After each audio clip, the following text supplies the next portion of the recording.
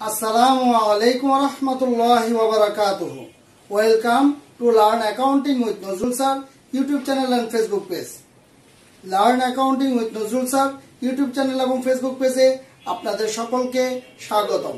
বাসায় বসে অ্যাকাউন্টিং এর অঙ্কে সহযোগিতা নেওয়ার জন্য একটি পরিপূর্ণ গাইডলাইন হিসেবে এবং বাসায় গৃহশিক্ষকের বিকল্প হিসেবে রেগুলার আমার এই চ্যানেলের সাথেই থাকুন এবং অন্যদেরও আমার এই চ্যানেলের সাথে সংযুক্ত রাখুন। আপনি যদি আমার এই চ্যানেলে নতুন হয়ে থাকেন, তাহলে প্লিজ আমার এই চ্যানেলটিকে সাবস্ক্রাইব করুন, পাশে থাকা বেল আইকনটিতে ক্লিক করে রাখুন, তাহলে নতুন নতুন অঙ্কের সমাধান সাথে সাথে পেয়ে যাবেন। আর আপনারা যারা ইতিমধ্যে আমার এই চ্যানেলটিকে সাবস্ক্রাইব করেছেন, আমার ভিডিওগুলো দেখছেন, আমার ভিডিওগুলোতে লাইক করেছেন, কমেন্টস করেছেন, শেয়ার করেছেন, তাদের সকলকে জানাই আন্তরিক শুভেচ্ছা ও অভিনন্দন।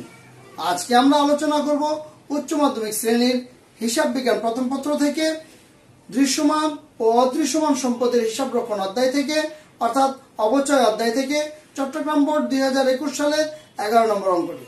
আপনাদের সাথে উপস্থাপনায় আমি আছি মোহাম্মদ নজরুল ইসলাম, সহকারী অধ্যাপক, হিসাব বিজ্ঞান বিভাগ, Central Women's College, Tikatuli, Dhaka. প্রথমে আমরা একটু অঙ্কটা দেখে নিই। মুন্তাসির কোম্পানি মার্চ এক দুই তারিখে একটি আসবাবপত্র ক্রয় করল। আসবাবপত্রটির ক্রয় মূল্য দুই লক্ষ টাকা, আনুমানিক আয়ুষ্কাল দশ বছর এবং ভগ্নাংশের মূল্য পাঁচ হাজার টাকা। কোম্পানিটি প্রতি বছর একত্রিশ ডিসেম্বর তারিখে তার হিসাব বই সমাপ্ত করে। কোম্পানি আসবাবপত্রটির উপর ক্রমহ্রাসমান যে পদ্ধতিতে অবচয় ধার্য করার সিদ্ধান্ত গ্রহণ করে। কতে আমার কাছে জানতে চেয়েছে, অবচয়ের শতকরা হার নির্ণয় করো। খতে আমার কাছে জানতে চেয়েছে, প্রথম তিন বছরের অবচয় তালিকা তৈরি করো। গতে আমার কাছে জানতে চেয়েছে প্রথম তিন বছরের আসবাবপত্র হিসাব ও অবচয় হিসাব প্রস্তুত করো। তো আমরা প্রথমে আসি অবচয় শতকরা হার বের করার জন্য। আমরা যে অবচয় শতকরা হার বের করব, এই জন্য আমার ক্রমহ্রাসমান যে পদ্ধতিতে আমার অবচয় ধরতে হবে, কিন্তু আমার সরল রৈখিক পদ্ধতিতে আগে অবচয়টা বের করে হারটা বের করতে হবে। তার জন্য আমার তথ্য ক্রয় মূল্য দেওয়া আছে ভগ্নাংশের মূল্য দেওয়া আছে, আয়ুষ্কাল দেওয়া আছে। এগুলো আমার লাগবে। তাহলে আসি প্রথমে সরলরৈখিক পদ্ধতিতে বার্ষিক অবচয়ের পরিমাণ বের করব, তারপর সরলরৈখিক পদ্ধতিতে অবচার হার বের করব, তারপরে গিয়ে ক্রমহ্রাসমান পদ্ধতিতে অবচয়ের হার বের করব। এটা হচ্ছে নিয়ম। তাহলে আমরা সরলরৈখিক পদ্ধতিতে বার্ষিক অবচয়ের পরিমাণ, বার্ষিক অবচয় সম্পত্তির ক্রয় মূল্য যোগ সংস্থাপন ব্যয় বাদ ভগ্নাবশেষ মূল্য। তাহলে পাঁচ লক্ষ টাকা থেকে সংস্থাপন ব্যয় নাই, ভগ্নাবশেষ মূল্য এক লক্ষ টাকা বাদ দিব, আয়ুষ্কাল দশ বছর ভাগ করব। তাহলে আমার চল্লিশ হাজার টাকা আসতেছে বার্ষিক অবচয়। এরপর আমরা আসি সরলরৈখিক পদ্ধতিতে বার্ষিক অবচয়ের হার।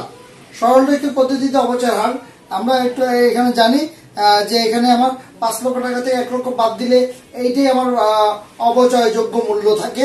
তাহলে আমার অবচয় বেরোচ্ছে চল্লিশ হাজার টাকা অবচয় যোগ্য মূল্য হচ্ছে চার লক্ষ টাকা। পাঁচ লক্ষ টাকা থেকে এক লক্ষ বাদ দিলে চার লক্ষ টাকা আমার অবচয় যোগ্য মূল্য। একশো দিয়ে গুণ করলে আমার দশ পার্সেন্ট বেরোইতেছে সরলরৈখিক পদ্ধতিতে বার্ষিক অবচয়ের হার দশ পার্সেন্ট তাহলে সুতরাং ক্রমহ্রাসমান যে পদ্ধতিতে অবচয়ের শতকরা হার হচ্ছে সরলরৈখিক পদ্ধতিতে অবচয়ের হার গুণ দুই। তাহলে দশ পার্সেন্ট গুণ দুই ইকুয়াল টু বিশ পার্সেন্ট এটা বের হইল আমার কি? ক্রমহ্রাসমান যে পদ্ধতিতে অপচয়ের হার। তাহলে আমরা কি করব? প্রথম বছরে দুই হাজার সতেরো সাল আসবাবপত্র কিনেছি আমরা কত দিয়ে? দুই লক্ষ টাকা দিয়ে। তাহলে দুই লক্ষ টাকা লিখলাম, পরে প্রারম্ভিক মূল্য দুই লক্ষ টাকা দেখাইলাম। আমরা গণনার মধ্যে কি করব? প্রথম বছর অবচয়টা অবচয়টা ধরবো দশ মাসের। কারণ আমি আসবাবপত্র কিনেছি মার্চের এক তারিখে। তাহলে March, April, May, June, July, August September, October, November, December, দশ মাস হয়। আমি কি করব? দুই লক্ষ টাকার উপর বিশ পার্সেন্ট টাকা অবচয় দেবো বারো দিয়ে ভাগ করব, দশ দিয়ে গুণ করব। দুই লক্ষ টাকাকে বিশ দিয়ে গুণ করব বিশ পার্সেন্ট করব, বিশ পার্সেন্ট করার পর বারো দিয়ে ভাগ, দশ দিয়ে গুণ। তাহলে আমার বেরোবে তেত্রিশ হাজার তিনশো তেত্রিশ। এবং এই টাকাটাকেই আমরা পুঞ্জীবিত অবচয় ঘরে, প্রথম বছরে অবচয় যা বের হয় প্রথম বছরে একটা পুঞ্জীবিত অবচয় করে সেটাই লিখতে হয়। তারপর সমাপনী মূল্য কীভাবে বের করব? প্রারম্ভিক মূল্য থেকে অবচয় বাদ দিয়ে সমাপনী মূল্যটা আমরা দেখাবো। প্রারম্ভিক মূল্য দুই লক্ষ টাকা। দুই লক্ষ টাকা থেকে তিন তেত্রিশ হাজার তিনশো তেত্রিশ বাদ দিলে এক লক্ষ ছেষট্টি হাজার ছয়শো সাতষট্টি থাকে। দুই হাজার সতেরো সালে যেটা সমাপনী মূল্য, দুই হাজার আঠারো সালে সেটা হবে প্রারম্ভিক মূল্য।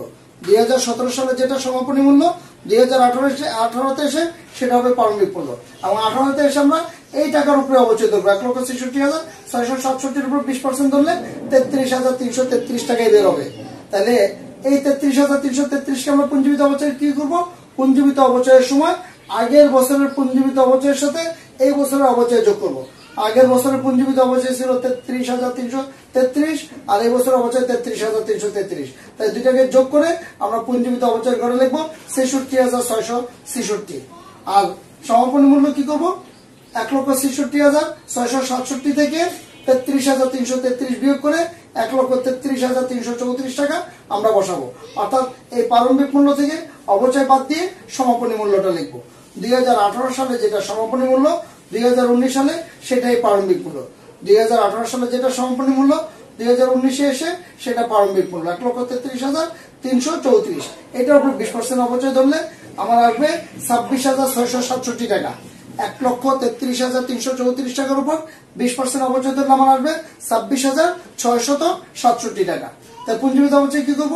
আগের বছরে যেটা পুঞ্জীবিত অবচয় ছেষট্টি হাজার ছয়শো ছেষট্টি টাকা। এটার সাথে আমরা ছাব্বিশ হাজার ছয়শো সাতষট্টি যোগ করে তিরানব্বই হাজার তিনশো তেত্রিশ টাকা। আমরা কি করব? এখানে লিখব। আর এক লক্ষ তেত্রিশ হাজার তিনশো চৌত্রিশ থেকে ছাব্বিশ হাজার ছয়শো সাতষট্টি বাদ দিলে থাকে এক লক্ষ ছয় হাজার ছয়শো সাতষট্টি টাকা। এটা হচ্ছে সমাপনী মূল্য। এইভাবে তিন বছরের অবচয় তালিকাটা আমরা তৈরি করব। গত বছর আসবাবপত্র হিসাব এবং অবচয় হিসাব দেখাইতে তাহলে আসবাবপত্র হিসাব আমরা কি করব? দুই হাজার সতেরো সাল, সতেরো সালে মার্চ এক, নগদান হিসাব, দুই লক্ষ টাকা। এটা আবার ডেবিট পাশে চলে যাবে দুই লক্ষ টাকা। তারপর দুই হাজার আঠারো জানুয়ারি এক ব্যালেন্স বিধি, এই দুই লক্ষ টাকা ব্যালেন্স বিধি হিসেবে টেনে দেখালাম দুই লক্ষ টাকা। দুই হাজার উনিশ জানুয়ারি এক ব্যালেন্স বিধি, এই দুই লক্ষ টাকা আমি টেনে দেখা দিলাম দুই লক্ষ টাকা। টি ছক করলে এখানে অনেক কিছু করা লাগতো। ব্যালেন্স বিধি ব্যালেন্স সিডি যোগ ফল, অনেক কিছু টানা লাগতো। কিন্তু চলমান যে থেকে আমি শুধু ব্যালেন্স বিধি গুলো দেখিয়ে দিব, শেষ। তাহলে আমার তিন বছরের খতিয়ান হয়ে যাবে। আর এই জায়গাটায় আমরা টি ছক করলে অনেক ঝামেলা করা লাগতো। এরপর আমরা আসি, বলছে অবচয় হিসাব দেখাইতে। তিন বছর অবচয় হিসাব। তাহলে দু হাজার সতেরো সালে ডিসেম্বর একত্রিশ তারিখে আমাদের সাধারণ যাবে দেখি, অবচয় ডেবিট পুঞ্জীবিত অবচয় ক্রেডিট। অবচয় যেহেতু ডেবিট ডেবিট পাশে লিখলাম তেত্রিশ হাজার তিনশো তেত্রিশ টাকা, প্রথম বছরের অবচয়টা এখানে লিখলাম পুঞ্জীবিত অবচয় হিসাব, এই যে ডেবিটটা ডেবিট পাশে চলে গেল। ডেবিটটা ব্যালেন্সের করে ডেবিট পাশে চলে গেল। এরপর আমরা আসি অবচয় জানি যে দুইটা জাবেদা থাকে আরটা হচ্ছে অবচয় খরচকে বন্ধ করার জন্য আয় সারাংশ ডেবিট অবচয় ক্রেডিট তাহলে অবচয় ক্রেডিট ক্রেডিট পার্সেন্ট লিখলাম তেত্রিশ হাজার তিনশো তেত্রিশ টাকা, এখানে ডিসেম্বর একত্রিশ লিখে আয় সারাংশ হিসাব লিখে দিলাম। এখন আসি ব্যালেন্স এটা আসছে ডেবিট এটা আছে ক্রেডিট ডেবিট ক্রেডিট যোগ বিয়োগ করে ব্যালেন্সটা নীল হয়ে যাবে। আমরা জানি যে অবচয় হিসেবে ব্যালেন্স প্রতি বছরেরটা বছরে নীল হয়ে যায়। অবচয় হিসেবে ব্যালেন্স প্রতি বছরেরটা বছর নীল হয়ে যায়। এই বছরের অবচয় হিসেবে ব্যালেন্স পরের বছরে অবচয় হিসেবে যায় না। এই বছরের অবচয় হিসেবে ব্যালেন্স পরের বছর অবচয় হিসেবে যায় না। আসি দুই সাল। অবচয় ডেবিট পুঞ্জীবিত অবচয় ক্রেডিট অবচয় যেহেতু ডেবিট ডেবিট পাশে লিখলাম, তেত্রিশ হাজার তিনশো তেত্রিশ টাকা। এখানে লিখলাম পুঞ্জীবিত অবচয় হিসাব। এই তেত্রিশ হাজার টাকা ব্যালেন্সের করে নিয়ে গেলাম। পরে আয় সারাংশ লিখলাম ডিসেম্বর একত্রিশ তারিখে দিয়ে। যাবে দেখি আয় সারাংশ ডেবিট অবচয় ক্রেডিট তাহলে অবচয় ক্রেডিট পাশে আসলো তেত্রিশ হাজার তিনশো তেত্রিশ টাকা। তাহলে ব্যালেন্সের বারে কি হবে? এই তেত্রিশ হাজার সাথে তেত্রিশ হাজার অর্থাৎ তেত্রিশ হাজার তিনশো তেত্রিশ টাকার সাথে এই তেত্রিশ হাজার তিনশো তেত্রিশ টাকা বিয়োগ করে আমার ব্যালেন্স জিরো হয়ে গেল। এরপর আমরা দুই হাজার উনিশ সালে একইভাবে দুই হাজার উনিশ সালে অবচয় ডেবিট পুঞ্জীবিত অবচয় ক্রেডিট অবচয় যেহেতু ডেবিট অর্থাৎ ডেবিট পাশে ছাব্বিশ হাজার ছয়শো সাতষট্টি টাকা, এখানে লিখলাম পুঞ্জীবিত অবচয় হিসাব। এই ডেবিটটা ডেবিট পাশে চলে গেল। আমাদের আরেকটা জাবেদা হচ্ছে আয় সারাংশ ডেবিট অবচয় হিসাব ক্রেডিট অবচয় যেহেতু ক্রেডিট ক্রেডিট পাশে আমরা লিখলাম ছাব্বিশ হাজার ছয়শো সাতষট্টি টাকা, এখানে লিখলাম আয় সারাংশ হিসাব, ডিসেম্বর একত্রিশ তারিখ। তাহলে এখন এখানে বসালাম। এখন কি এটার সাথে এটা বিয়োগ করে ব্যালেন্স জিরো হয়ে গেল। আমরা যদি কয়েকটা অঙ্ক করি, তখন দেখা যাবে যে এই চ্যাপ্টারটা আমাদের আয়ত্তে চলে আসবে। আর দুই হাজার একুশ সালের নয় দুগুণ আঠারোটা অঙ্ক, প্রতিটা অঙ্ক যদি চার পাঁচবার করে করি, তাহলে অবচয় হিসাবটা আমার কাছে আর কঠিন মনে হবে না।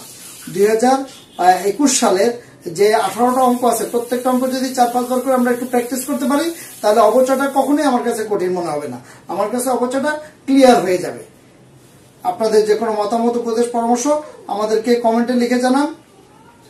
ইউটিউব চ্যানেল এবং ফেসবুক পেজে আমাদের সাথেই থাকুন। যদি ভিডিওটি ভালো লেগে থাকে, সকলকে দেখার সুযোগ করে দিন। বেশি বেশি করে শেয়ার করুন।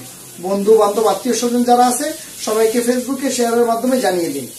আশা করি ভালো থাকবেন, সুস্থ থাকবেন। আল্লাহ হাফেজ।